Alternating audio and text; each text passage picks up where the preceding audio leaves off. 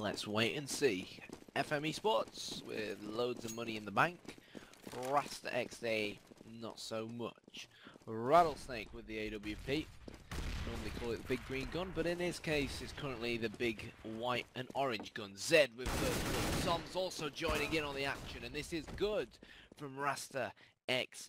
They have a one-man advantage, and uh, we're going to have to is going aggressive on the B bomb site, trying to peek the corner, trying to find a glimpse of one of these Rasta players to try and take out, but unfortunately spotted nothing. And now a bit of a substitution going on. Rattlesnake saying, right, I'll go mid Neil, and uh, you uh, replace my position holding the top of Banana and see whether we can get any uh, picks to try and open this uh, fifth round of the second overtime. Rattlesnake preparing with the flash towards Arch, I believe, towards Quad, sorry. So it looks like they're trying to fake it, hoping that Zed just might rotate to the A bomb site, but you know what? He hasn't.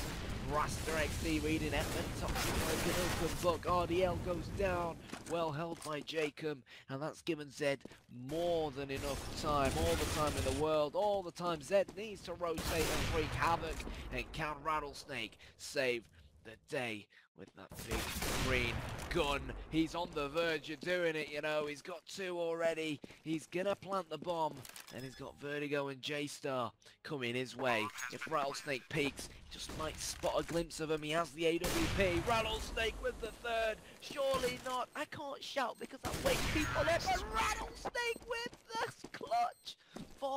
Versus one. Why does it have to be this late? It's half past 12 in the morning. My neighbours will start knocking on, on the wall. My housemates will start knocking on the wall. But Rattlesnake is back, ladies and gents. And I've got no, no. idea what the fuck. Does this mean we're going to a third overtime? Or does I it mean that... it does.